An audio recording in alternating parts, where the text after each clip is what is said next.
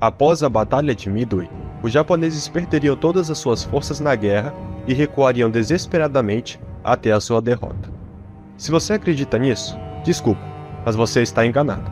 De fato, Midway marcou a reviravolta na Segunda Guerra Mundial, e a perca de quatro porta-aviões e a maioria de seus pilotos experientes foi catastrófica. Depois disso, os japoneses nunca mais avançariam pelo Pacífico, mas a Marinha do Japão ainda era poderosa e possuía pilotos muito experientes. E poucos meses depois, com as lições aprendidas em Midway, derrotariam os Estados Unidos em uma batalha de porta-aviões, a Batalha das Ilhas Santa Cruz. Este vídeo é baseado nas obras Zero, de Okumi Yamasatake, e O Sobrevivente do Pacífico, de George Blonde, que abordam respectivamente a perspectiva japonesa e americana da batalha, e também possui auxílio de outras fontes. Mas antes do vídeo, não se esqueça de deixar o like para ajudar no crescimento do canal. No dia 7 de agosto de 1942, os americanos invadiram a ilha de Guadalcanal e tomaram o campo de pouso que os japoneses estavam construindo. Foi a primeira grande ofensiva dos Estados Unidos na guerra, e o objetivo dessa invasão era impedir a utilização dessa pista de pouso pelos japoneses. No entanto, as coisas não foram muito fáceis para os americanos. No dia seguinte à invasão, as forças navais que apoiavam os Marines foram vergonhosamente derrotados na Batalha das Ilhas Savo e tiveram que recuar sua frota, deixando os fuzileiros navais sozinhos. Nas semanas seguintes, os japoneses realizaram várias ofensivas para retomar o campo de pouso, mas os Marines resistiam bravamente ao avanço japonês.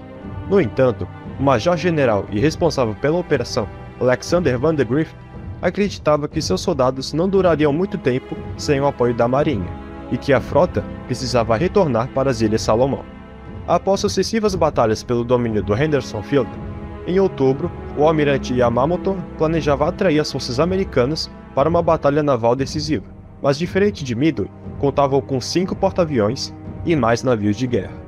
O objetivo da frota era apoiar as tropas em terra que tentariam invadir o campo de pouso. As forças navais japonesas foram divididas em três grupos. A força principal, composta pelos porta-aviões Shokaku e Zuikaku, e o porta-aviões leve Zuiho, comandados pelo vice-almirante Nagumo Chuichi. A segunda força, composta pelos porta-aviões Junyo e Ryo, comandada por Kondo Nobutake, e a força de coraçados sob comando do contra-almirante Abe Hiroaki. Nagumo havia aprendido uma amarga lição na derrota em Midway, e dessa vez optou por colocar os coraçados na frente dos porta-aviões. Já no lado americano, Chester Nimitz estava ciente que uma batalha de porta-aviões estava para acontecer, e acreditava que precisava de alguém agressivo no comando do Pacífico Sul. William Halsey foi o homem escolhido para a tarefa, e agiu rapidamente, enviando sua frota próximo das Ilhas Santa Cruz em busca da frota de Yamamoto. Ele estava sem tempo, pois as tropas japonesas já estavam investindo sobre Henderson Field, e que queria destruir a frota japonesa o mais rápido possível. A situação para os Estados Unidos em outubro de 42 não estava muito boa. Até outubro desse ano, os americanos haviam perdido quatro de seus sete porta-aviões. O Saratoga estava em Pearl Harbor para três meses de reparos, e os americanos contavam apenas com dois porta-aviões para esta operação, o Hornet e o Enterprise. Estes dois formaram a Task Force 61 e seria comandado pelo contra-almirante Thomas Kincaid seria um duelo entre cinco porta-aviões japoneses e dois americanos. As ordens de Halsey eram para continuar avançando pelo noroeste em busca da frota japonesa, e se não encontrassem, deveriam avançar ainda mais. Era claro que os japoneses estariam ali em algum lugar. Se os Estados Unidos perdessem seus porta-aviões, não teriam mais nenhum em operação no Pacífico, e os japoneses poderiam retomar a ofensiva que haviam perdido em Midway. A batalha que estava para acontecer seria decisiva e determinaria se os americanos teriam sucesso no Pacífico Sul ou não.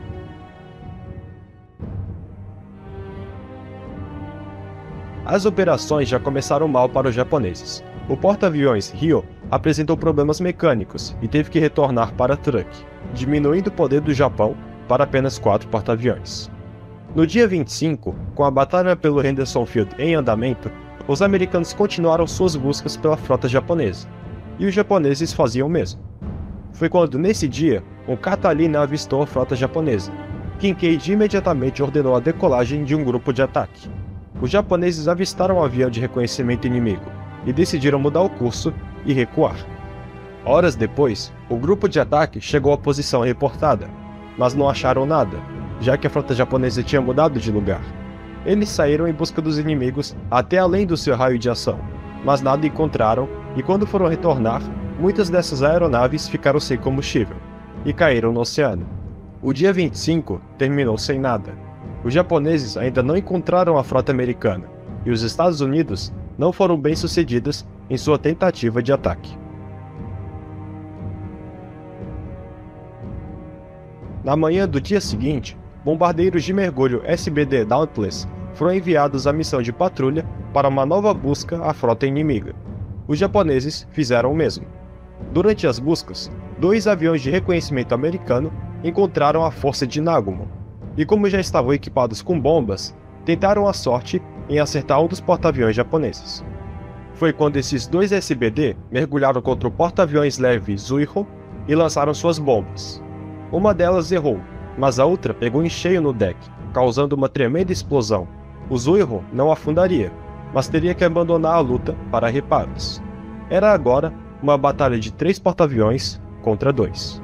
Com a frota reportada, Kincaid ordenou a imediata decolagem de uma força de ataque. E praticamente ao mesmo tempo, os japoneses também avistaram a frota inimiga e ordenaram um ataque imediato. Literalmente, os dois beligerantes se encontraram e ordenaram um ataque ao mesmo tempo. Quando a frota americana foi reportada, os japoneses imediatamente decolaram com suas aeronaves em dois grupos. O primeiro grupo seria liderado por Morata Shigeharu, contendo 62 aeronaves, entre elas bombardeiros de mergulho D-3A, os torpedeiros B-5N e os caças Zero de escolta. O segundo grupo decolaria 40 minutos depois e seria liderado por Sekimamoro, contendo 45 aeronaves. Era um número pequeno e que ainda refletia as perdas japonesas na Batalha das Salomão Orientais, mas contava com ótimos pilotos que poderiam fazer a diferença na batalha. E pouco depois, o Junho se juntaria ao ataque, enviando 29 aeronaves. Já no lado americano, o Hornet enviaria duas ondas de ataque, a primeira contendo 29 aviões e a segunda 26. Entre elas estavam os bombardeiros de mergulho SBD Dauntless, os torpedeiros TBF Avenger e os F-4F Wildcat de escolta. Já o Enterprise enviaria cerca de 20 aviões para o alvo. O ataque americano era composto por três grupos e estavam separados e distantes um dos outros. Quando os japoneses e americanos voavam em direção aos seus alvos, ambos se encontraram no meio do caminho, e alguns dos caças zeros decidiram abandonar a formação para enfrentá-los. Os caças japoneses atacaram ferozmente os torpedeiros americanos, que eram protegidos pelos caças Wildcat.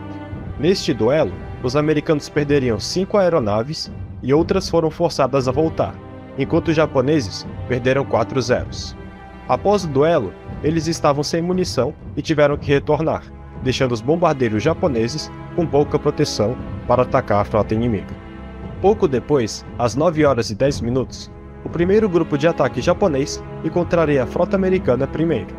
O Enterprise estava longe do Hornet, fazendo com que os pilotos avistassem apenas o Hornet. O radar americano havia falhado e eles perceberam o ataque muito em cima da hora. Foi quando se sucedeu diversos duelos aéreos em cima do porta-aviões americano. Os caças Wildcat atacavam ferozmente os atacantes japoneses, que eram defendidos pelos Zeros. A artilharia antiaérea explodiu os céus, acertando e abatendo muitos japoneses. Os bombardeiros mergulharam contra o alvo e lançaram suas bombas, acertando três golpes. Já os torpedeiros estavam muito vulneráveis e tiveram pesadas baixas, mas ainda assim conseguiram lançar seus torpedos, acertando dois golpes e paralisando o Hornet. O comandante, Morata, morreria em ação. No meio dos intensos duelos, o D-3A, que estava danificado, mergulhou em direção ao porta-aviões, acertando-o em cheio e causando muitos danos. Pouco depois, um B-5N repetiria a mesma manobra e acertaria na lateral. O porta-aviões não mais se movia e começava a inclinar. 20 minutos depois do ataque japonês, o primeiro grupo de ataque americano encontraria a frota japonesa. Os bombardeiros então mergulharam contra a frota inimiga.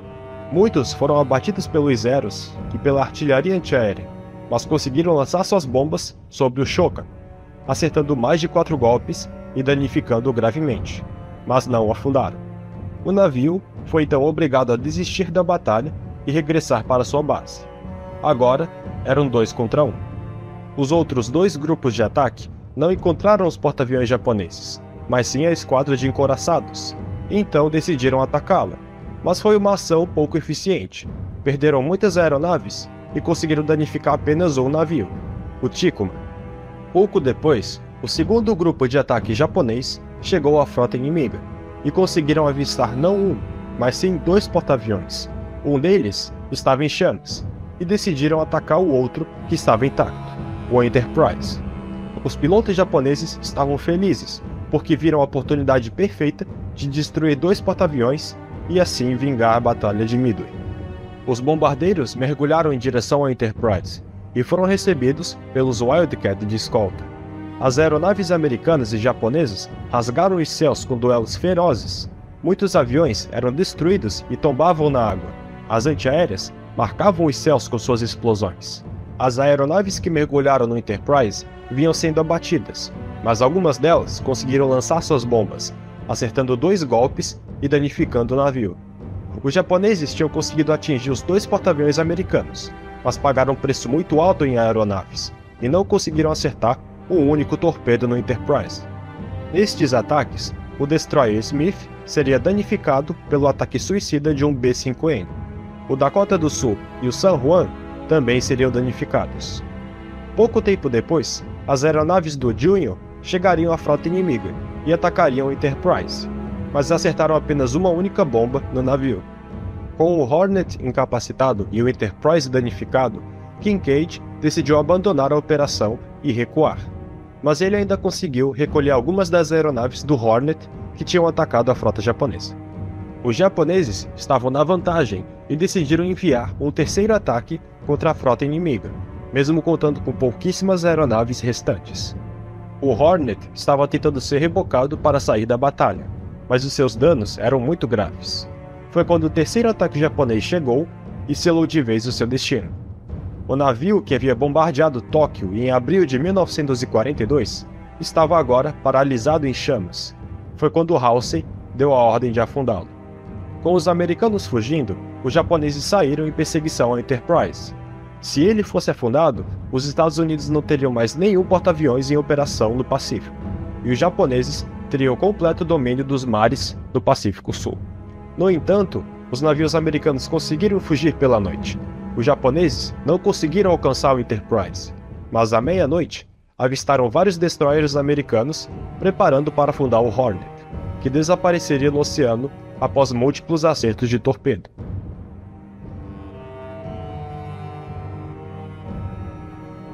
Os japoneses não perderam nenhuma embarcação na Batalha das Ilhas Santa Cruz. Já os americanos perderiam o Hornet, e o Enterprise sairia gravemente danificado.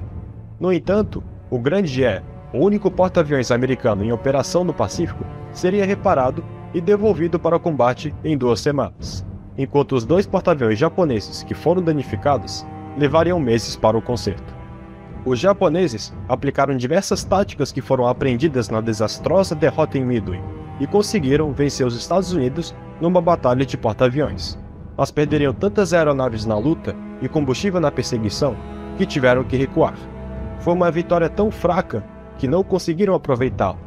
A alegria dessa vitória japonesa seria breve. Eles conseguiram vingar Midway, mas as perdas em pilotos experientes não poderiam ser substituídas. Se os japoneses conseguiram uma vitória tática, tinham sofrido uma derrota estratégica.